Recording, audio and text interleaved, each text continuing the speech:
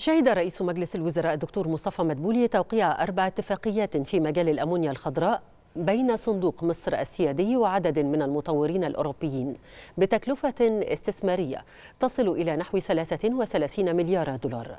جاء ذلك على هامش مؤتمر الاستثمار المصري الأوروبي المشترك والمنعقد بالقاهرة.